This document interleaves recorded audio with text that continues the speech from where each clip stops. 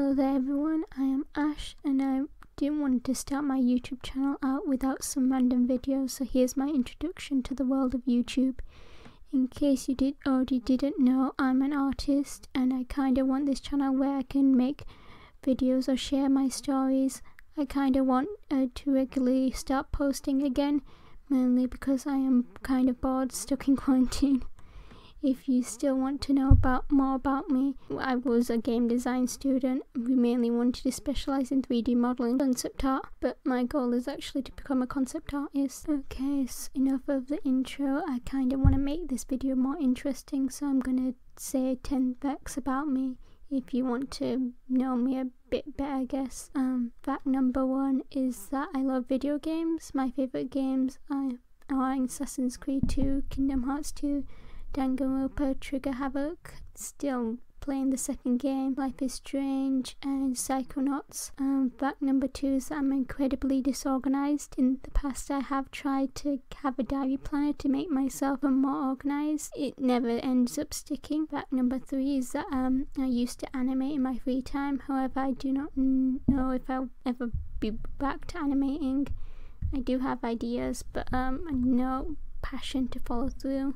Fact number four is that I started to learn how to draw when I was 13, but this year I'm trying to improve on my skills by learning from YouTubers as I kind of want to improve on my artwork. Fact number five is that I'm, my handwriting is terrible. Like, no matter how much I try to make my handwriting neater, it ends up becoming this giant mess. This is why I never sign my own artwork because my handwriting is terrible.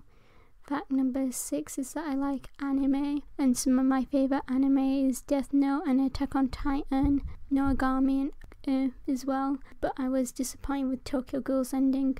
Just gonna say the ending this season it didn't age over well over time. Fact number seven is that I wear glasses. Um, I have a pretty high prescription. I believe it might be minus six or minus minus six point seven 75 or minus 6.50. I've kind of forgotten where I put my recent results, but in 2019 it was minus 7, but um, I remember it improved this year. Fact number 9 is that I have a terrible memory. I would usually forget where I put my phone or sometimes my sometimes people's ages. I have to have to double check that I've got my phone and wallet when I go out with me. Fact number 10 is that I have a terrible sleep schedule. I could be up to 3 and 4 in the morning and just not feel tired. I'm still in the process of trying to get used to recording speed paints and put them up on YouTube.